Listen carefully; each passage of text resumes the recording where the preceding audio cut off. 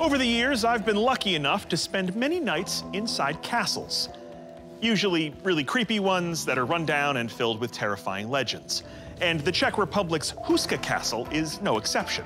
But unlike most castles, its walls weren't built to defend against an enemy attack, but rather to keep the enemy trapped within. The Czech Republic has been called the castle capital of the world. Although the country's only about the size of South Carolina, it's got more than 2,000 of them. The most famous is Prague Castle, the centerpiece of the country's bustling capital and the largest castle complex in the world. Prague Castle was built next to the central market, making getting food and supplies uber convenient. It was positioned at the crossroads of trade routes linking Eastern and Western Europe.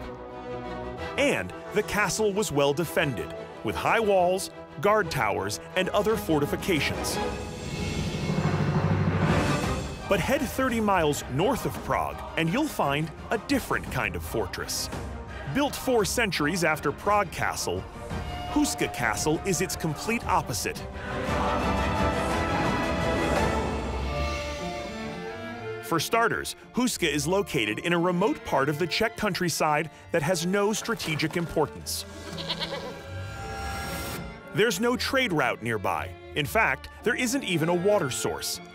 And the castle has almost no meaningful defenses or fortifications. So what on earth is it doing here? The answer lies deep beneath Houska. and it turns out this castle is no fairy tale. It's a place straight out of a horror story.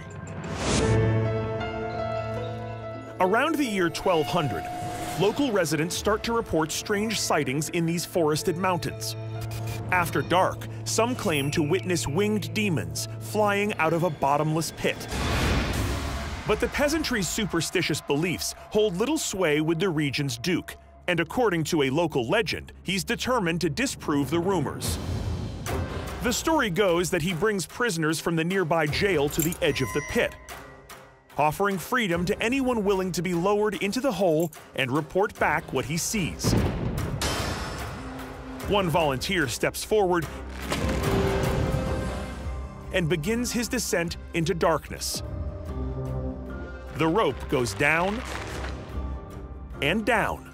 Even the skeptical Duke starts to wonder if the young prisoner will ever reach the bottom. Suddenly, the rope jerks. The prisoner screams in agony and begs to be pulled up. When he finally reaches the surface, everyone is shocked by what they see. The young prisoner has become an old man.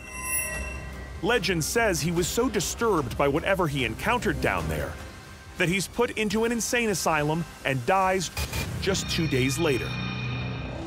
Now, I've been to some real hellholes in my time, but according to local lore, this crack in the earth in the Czech Republic is a real gate to hell. So the Duke consults with the king, and they decide not to take any chances. Houska Castle was completed in 1278, positioned directly on top of the pit. Some say in an attempt to seal the dark forces of hell inside the mountain forever. Nearly 800 years later, the castle's current owners are committed to protecting it from falling into the wrong hands.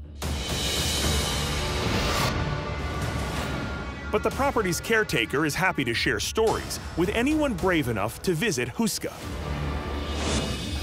To save time, castle architects used building materials that were easily available, so they would not have to haul heavy stones up the hill. Here, you can see where they dug right into the mountain to make the walls. Inside these stone walls, dead birds are often found lying in the courtyard. Locals believe the dark energy coming out of Houska Castle kills them as they fly overhead. As you head inside the Gothic-style structure, religious iconography abounds. In the hunting hall, the surrounding rock penetrates the castle's interior. All the animals you see mounted here were hunted from the surrounding forests. Wild pigs, deer, sheep, they all ended up on the baking pan, and their heads ended up on the wall. But if it's demons you're here to see, Miroslav will direct you down to the cellar, which is known as Satan's office. This is the deepest part of the castle, which is built with the thickest walls. Medieval people in these parts were very religious and believed the power of God would be their best defense. The chapel that was built here acts like a buffer to protect everyone from the hell that lies beneath us. The room is dedicated to the Archangel Michael, who's said to have led an army against the forces of evil. Oddly, for a house of God, references to Satan are everywhere. This figure is aiming her arrow with her left hand. In the Middle Ages, left-handedness was associated with the devil. If you look closely, the left-handed archer is half woman, half horse. You may recognize this hybrid creature as the centaur from pagan myth. But why would a pagan creature be featured on the walls of a Christian church? Well, that's exactly what the Nazis wanted to know. Shortly after Hitler's armies take over Czechoslovakia in 1939, the SS make their way to Houska Castle. In 2016, the Czech National Library unearthed 13,000 books on the occult and witchcraft from a Nazi vault, a collection amassed by Hitler's right-hand man, Heinrich Himmler. It's no secret that Himmler was fascinated with supernatural phenomena and pagan rituals. So he ordered Nazi soldiers to seize control of Houska to investigate the rumors of evil forces lurking beneath the castle. During World War II, the Nazis came to Houska with all sorts of religious materials. They had a complete Jewish library, texts on the occult, and Masonic books. It is believed that they were doing ceremonies here. So, what exactly was the Germans' ultimate goal here?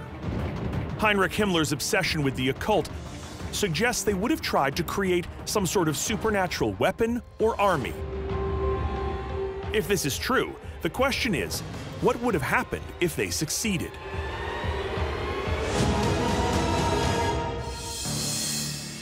Fortunately, the Allies defeated Germany before the Nazis figured out how to open the gate to hell. Or did they? A few years after the war, German soldiers were found buried here. Perhaps it was to cover up what these men knew. There are many different rumors about the rituals they did and what kind of evil they learned about.